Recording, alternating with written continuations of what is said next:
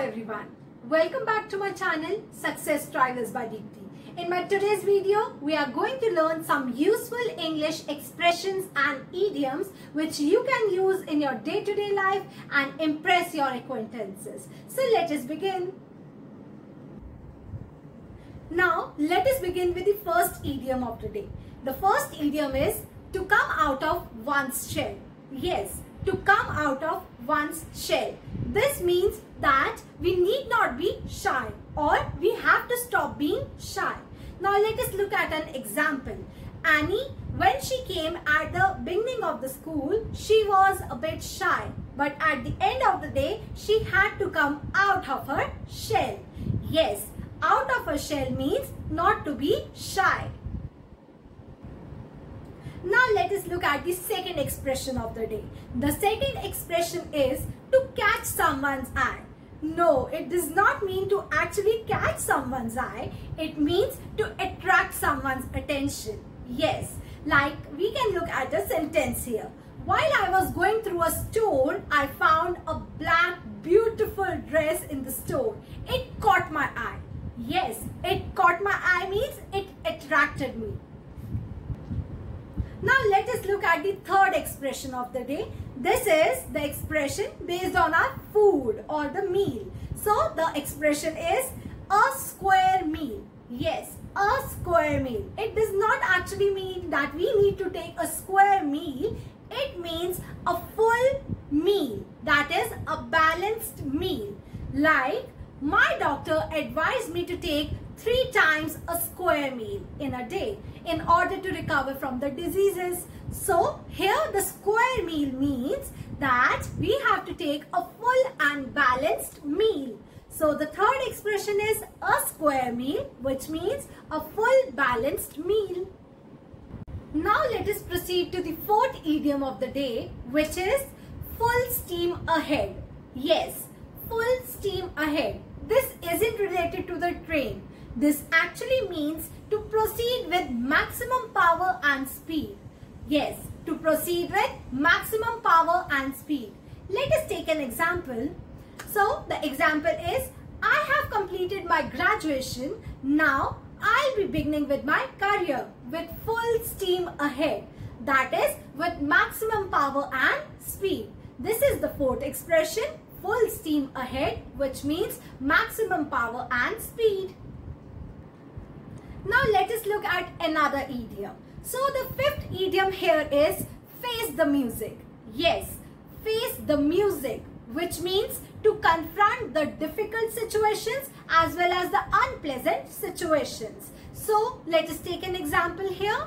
Joe is a notorious boy. That is, Joe is a naughty boy. He has to face the music now.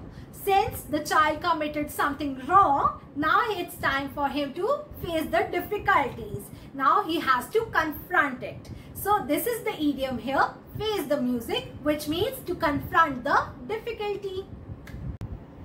Now let us look at another expression.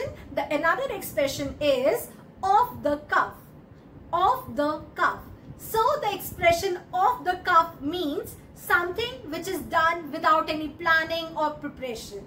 So let us take an example here. I wasn't prepared for anything but my teacher asked me to give a special assembly for the school. So I can simply say I was off the cuff but my teachers and my friends appreciated when I gave a special assembly. This is off the cuff which means anything which is done without any preparation or planning. The seventh expression here is beside the point. Yes, it's a very common expression, but we tend to use this expression very less. So we are going to use this here, beside the point. Yes, this means irrelevant, something which is useless, something which is of no use. That is irrelevant, beside the point. Now we are going to discuss a sentence here.